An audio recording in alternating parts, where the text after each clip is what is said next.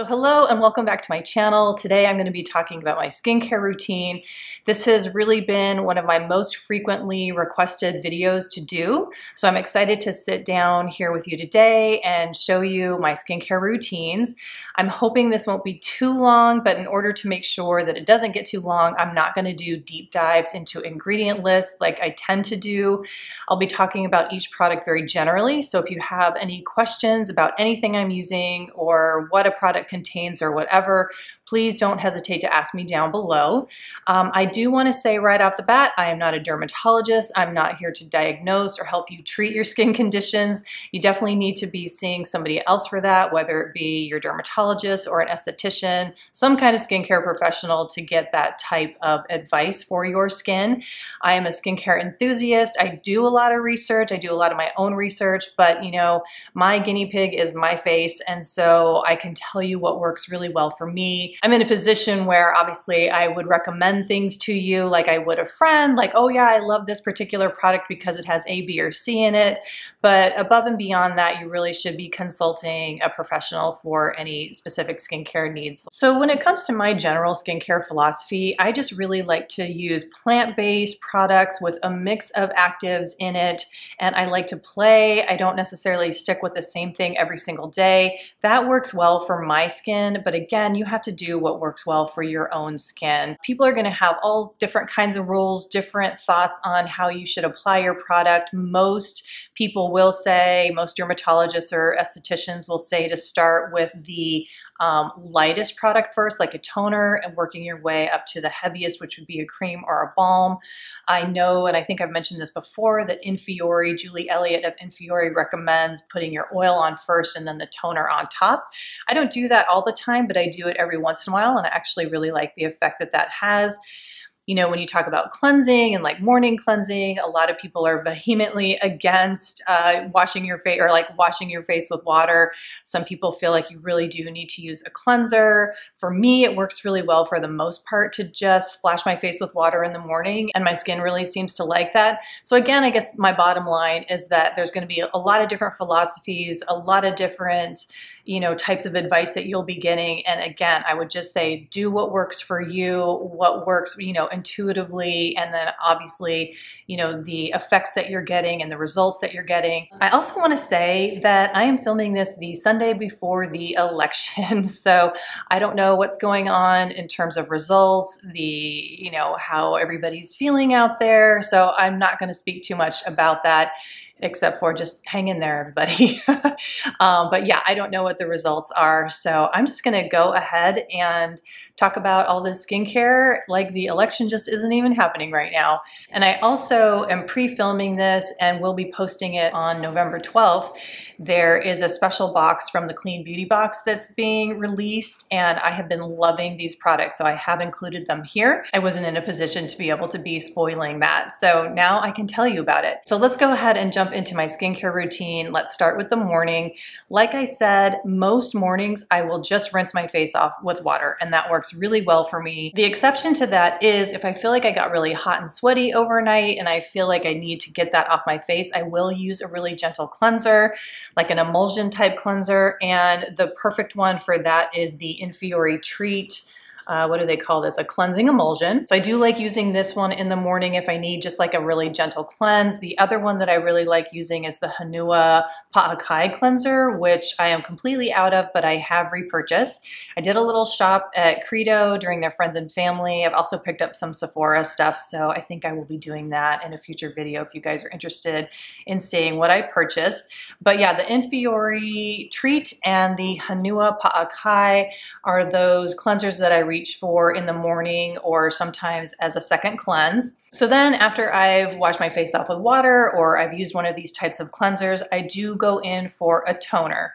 Now I love toners. I have a lot of toners. So these aren't necessarily like my top four toners that I have, but these are the ones that are in frequent rotation. So this one is from Laurel. This is the single farm hydrosol and frankincense. I'm mentioning this one because these are limited edition and they are gorgeous. So it's kind of like a holiday release. And the mist on here is super fine. I love the scent of frankincense. I find it really calming and relaxing and also really good for the skin. So check this out if you are interested in Laurel. I wouldn't wait on those because the limited edition hydrosols do tend to sell out pretty fast. Another uh, toner slash essence I really love is the Live Botanical Radiance Elixir. This is the winter one, the blood orange and turmeric. I'm hoping she releases this again this winter because I absolutely adore this. Another one that I really like is the Youth to the People Adaptogen Soothe and Hydrate Activated Mist. This one you can see I've gotten a lot of good use out of. I'm almost done with it. So I did go ahead and repurchase another one uh, during the Sephora sale. And then lastly, I am just so in love with this one, the 5yina Quiescent or Quiescent Winter Hydrolat. This is beautiful. All of 5yina's toners are just exquisite. I love them so much. Um, I really love the fall one, which has osmanthus in it, and then this winter one has really been amazing. So I do highly recommend all of 5yina's toners, but like I said, those two are my favorite. So just a little recap. In the morning, I rinse my face off with water, and then I will use a toner or an essence, and then it kind of depends on what I'm doing for the day or for the morning. If I'm gonna go and work out right away. I'm not going to use a whole lot of serums because I'm just going to be washing my face, you know, an hour or two later. So what I'll typically do after I use a toner, I will go in with an emulsion type product. My absolute favorite right now is the Live Botanical Ambient Moisture Liquid. So after my toner, I'll just do a couple pumps of this, pat it onto my skin, and then I go in with a really light uh, lotion. Now my absolute favorite right now is the Votary Super Seed Serum. This came in a Boxwalla Beauty box. I'm almost done with this. And they call it a serum, but it's actually more like a lotion. So if you can see that texture, it's not liquidy in terms of like running down your hand or anything like that. To me, this feels like a really lightweight lotion. So what I'll do, and, and I love it, I absolutely love it, and I love the scent of it. There's no essential oils in here, so it's just all the plant oils that are in here that give it its a really lovely scent.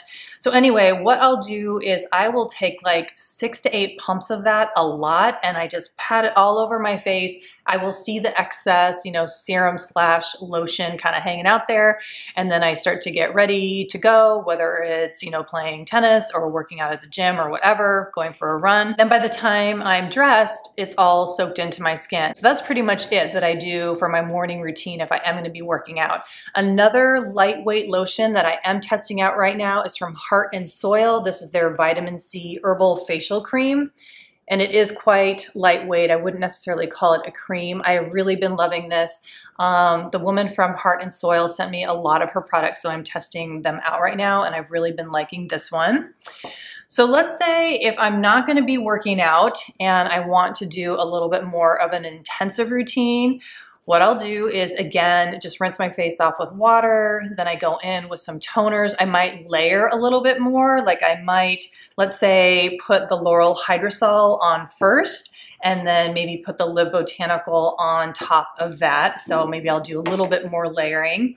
And then I will go in with a combination of an emulsion type serum. So again, like the Live Botanical um, moisture liquid, ambient moisture liquid, and then I'll mix that with a serum that has some actives in it, which is typically going to be vitamin C. So this is the Arcona Youth Serum that has 20% L-ascorbic acid. So I will typically mix these two together. And I really like to use the vitamin C in the morning rather than at the night because it helps protect your skin from the UV rays. It doesn't act as a sunscreen, but it helps protect your skin from the damage. And then it also helps potentiate the efficacy of the SPF that you will be using. So that's why I really like to use vitamin C in the morning.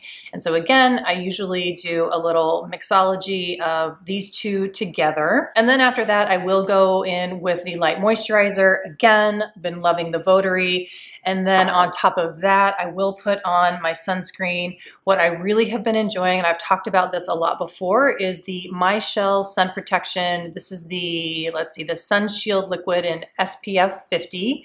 I really love this a lot and I really love mixing it uh, with another SPF to kind of create a tinted moisturizer. In the past, I've talked about the Josie Maran, I think it's SPF 47, but I've really been loving mixing it with uh, Honua's Malu. This is her Protecting Day Cream SPF 30.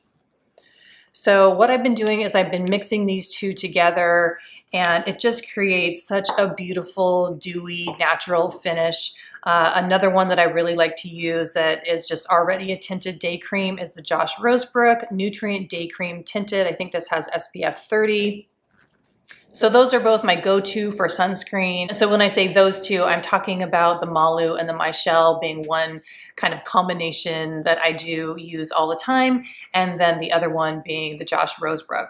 So that kind of does it really for the daytime. It's pretty simple. And then those mornings where I don't want to use any kind of an active, and also this is the same case uh, in the nighttime, I'll mention that as well, is I will go for these two products, and these are the ones I was talking about, the new drop from Clean Beauty Box. As I mentioned, this will be released on November 12th. These are the Prima products. Prima is the brand, and let me just show you, the branding on this is super cute. They obviously did a lot of research and work on what would be attractive because I am really drawn to their packaging. And then the actual packaging uh, that the products come in is also just super cute. And these are CBD based products. Now, my skin really likes CBD. I do feel like it does a really nice job of taking down redness and inflammation. And my any product that I use that has uh, CBD in it, my skin just tends to do really well.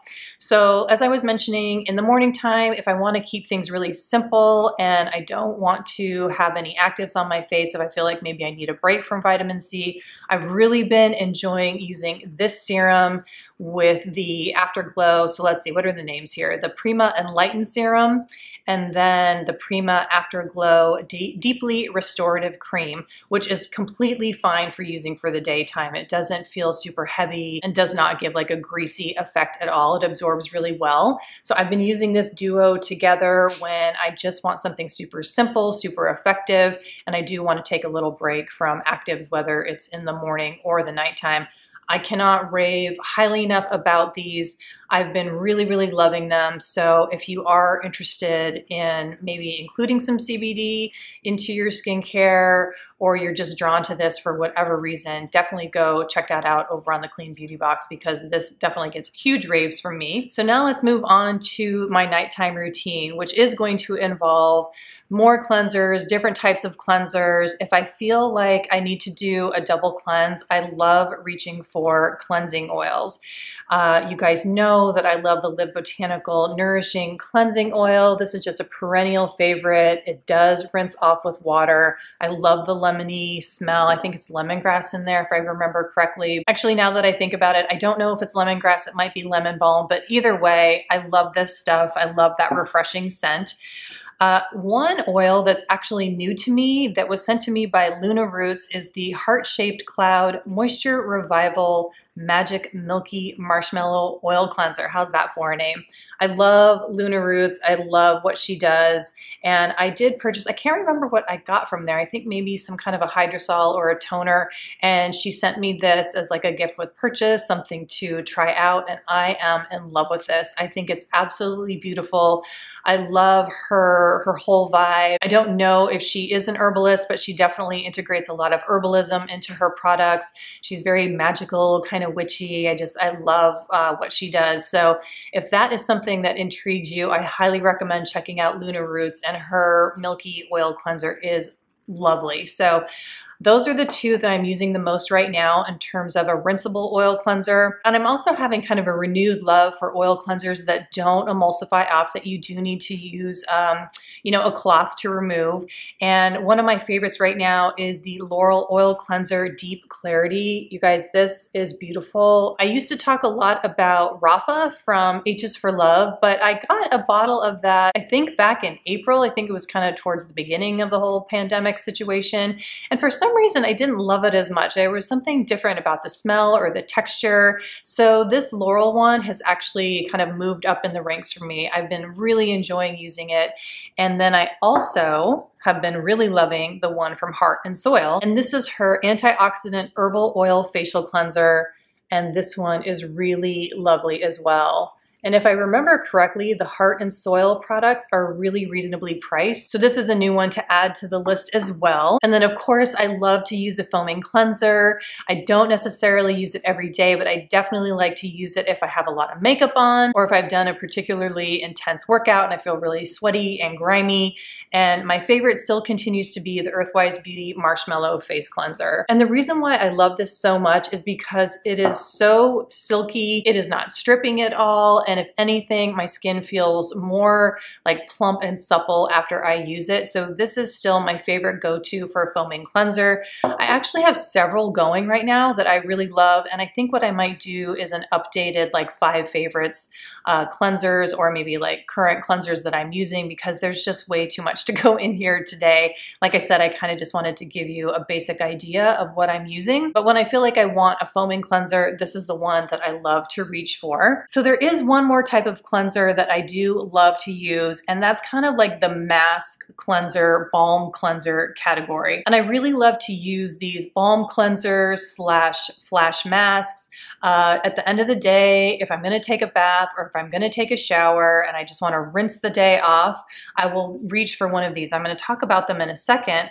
but this is the time where I will tend to use a cleansing water. So a lot of times I don't want to go through the whole process of, you know, a double cleanse and then putting a mask on, especially if it's a balm cleanser. So what I'll do is a preliminary cleanse with a cleansing water. And I've really been liking this one, and I hope I say this correctly, is Kowutsan made cleansing water.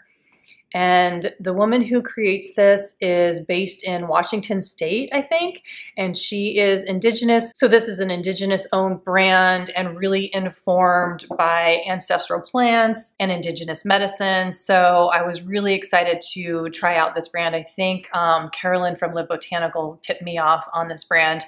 Uh, I have another thing from them that I am absolutely in love with. That is definitely going to be on my favorites video of 2020. So stay tuned for that. But anyway, what I like to do is use a cleansing water to get all the preliminary stuff off my face, whether it's makeup, SPF, or a combination. And then I'll go in with a cleansing mask. Now, I am really, really loving the Daphna, I think it's the Recovery Cleanser. You can see that my jar is almost out. This came in a clean beauty box and Oh my God, I just fell in love with this. Maybe it was over the summer that we got this. I'm not exactly sure, but I have mentioned how much I absolutely love this cleanser. I'm not going to go too in depth into it right now, why I love it so much, because this will definitely be on my 2020 favorites video. Another one that I love to use also from Daphna is the Revival Bioactive Beauty Mask. This is another mask that I am just head over heels in love with. And a lot of these masks, the reason why I call them sort of like masks slash cleansers, or, you know, of course, a balm cleanser is considered a cleanser, but they kind of emulsify too. So it's sort of like a second cleanse for me. So I'll use the cleansing water and then put the cleansing balm or the mask on top. And then when I rinse it off, you know, I do massage. So I feel like that's kind of a second cleanse for me. Another one that I've been playing with is from Lux Leonis. This is the Face Cleansing Green Smoothie. This is a new brand for me, but I've really been enjoying the things that she sent me and I really love it. Here you can kind of see what it looks like, but I really love the berry scent in here. Um, I'm pretty sure there's blackberries and maybe some other kind of berry oil, but it just smells so beautiful. And I will talk more about this later, but go check this out because I really love what she's doing. I'm blanking on the woman's name, but the woman who owns Lux Leonis. Um, of course, I'll be linking everything down below so you can explore. And then what is really lovely is this new mask from 5yina. This is their Moonlit Pearl Detox Treatment Mask. And this is what the packaging looks like. And you can get a sense of the color there, that deep black color from the charcoal. Um, it's really runny and it's gonna be very messy. So I'll save a demonstration for another time, but suffice to say, I really love this mask as well. I feel like it's kind of the charcoal mask season right now, but I really, really love it. It has a very aromatic sort of eucalyptus type scent that is really refreshing and feels very nourishing, especially during this time of the year when it's getting colder and darker. And then of course I have to mention one of my other favorites is the Heart of Gold Sea Change Cleansing Balm. This actually was in my empties bag, but I pulled it out just to show you guys. Uh, this is the second jar that I have gone through, and I absolutely love using this as a flash mask. So like I said, just put a very generous amount on my face let it just stay there while I'm either in the bath or in the shower. And then before I rinse it off, I just do some massage and then rinse it off. And that's basically what I do with all of these that I have talked about. So one of my favorite things to do is the mask and bath. And I have these actually by my bathtub so that they're just ready to go for me to grab. So I can just do like a quick cleanse with the micellar water and then put the mask on top or the cleansing balm and then get in the tub and then just relax. So I'm not going to keep talking about the mask and bath, but I just, I really love all these products for that. It's one of my favorite things to do in terms of my skincare routine, skincare ritual. So moving on with my nighttime routine, after my skin is all nice and clean, of course I go in with a toner. So I've got the four that I talked about. Let's say I'm gonna go for the 5yina. I might layer that with something else. I just, again, I really love to mix hydrosols, toners, essences, and just create my own little like scent hydration ritual. I love that part part of skincare. And then at nighttime, I do really love to reach for the Josh Rosebrook Daily Acid Toner. This has also become a fast favorite. I feel like it is super gentle. I love the scent and it is very, very effective. Frequently, I cannot use products on my face that have glycolic acid. I find it to be really drying, but this one is not drying at all and I really love it. Then after my skin is freshly cleaned and toned, I will go in with a serum that definitely has more actives in it that I would not use during the day. My favorite right now, my favorite combination is the Josh Rosebrook Daily Acid Toner and the Lil Fox Dewy Bean Dream. So this Dewy Bean Dream has moth bean in it. And like bakuchiol, it is being touted as a botanical retinol. I'm not going to go too in depth into that right now, but it is not related to vitamin A or retinoids at all. It's completely different. Moth bean is a plant and it has similar effects in terms of brightening, kind of plumping up your skin, uh, getting rid of some fine lines or helping mitigate fine lines. And when I use this combination together, I notice a huge difference. And this has just been a huge hit for me this year. When I do want to go in with a retinoid, which I maybe use, I don't know, at this point, three times a week, maybe more. I really love the Sunday Riley high dose retinoid serum. I love it so much that I got the bigger bottle. So these are the two actives that I tend to reach for the most at nighttime. After I put that on, I kind of need to assess the hydration and moisture needs of my skin. So sometimes I'll reach for an oil. I've really been loving the um, Skin Fancy Bottled Magic Antioxidant. Skin Fancy is a Portland based company, or I shouldn't even say company because the woman who owns this, you know, I think it's just her, very herbalism driven, very artisanal, very, very small business, woman owned. And I was really happy to get this because A, I love to support local businesses, and B, because I just absolutely love it and it works really well for me. I don't know if I mentioned that there's CBD in here, and CBD, as I've mentioned, is an ingredient that my skin really, really loves. I also have been really enjoying the Pink Moon. I think these are the lunar drops. I think that's the name of it. Um, gorgeous, gorgeous oil, a little bit on the lighter side, perfect for gua sha. That's why they created it, but you don't have to do facial massage with this to get the benefits. Uh, it has such a lovely this really light, light rose scent. And the scent just really exudes this exact color here, just like that really nice, light, cool tone pink is, is the vibe that I get when I put this on my skin. And then I also brought down to show you the Noshaba Sommer oil. I love reaching for this when I want a really aromatic experience before I go to bed. It smells of marigold and jasmine sambac and the experience is just really elevating and I love the scent. I love having it on my skin as I'm drifting off to sleep. Uh, it also has like a really nice thick texture that is perfect for the nighttime. It just feels like it's just locking in all the good stuff that you've put on your skin prior. Plus it has just the beautiful nourishing plant oils. So this is a huge hit for me. Uh, if I want to go for a cream, Oh my gosh, you guys, I am loving all the creams that these boxes and brands are offering us right now. So case in point is the Daphna Nutrition cream that was in their most recent box. I am just so in love with this cream. And the reason I love it is the texture is just fabulous. It's thick and creamy, but it absorbs well. It doesn't give you that greasy look. Same thing with the Afterglow from Prima. Again, this is going to be in that limited edition box uh, from the Clean Beauty box. This has just been so lovely to use. I love both of these. And then I also want to mention that Boxwalla has a limited edition box right now that is fantastic. It features Fine Cosmetics, I think the first time I mentioned Fine, I said Fine Cosmetics, but it's Fine. And in this box, you get this gorgeous um, high potency nocturnal renewal. It's basically like an overnight cream mask. And this is actually a duo that you get in this limited edition box. And I'll talk about this in a second, but this is an eye serum. I'll save that for the eye products. And then there's also a body serum that you get. So this special limited edition box that uh, Boxwalla has collaborated with Fine is amazing. I highly, highly recommend it. I've just been so blown away by this brand.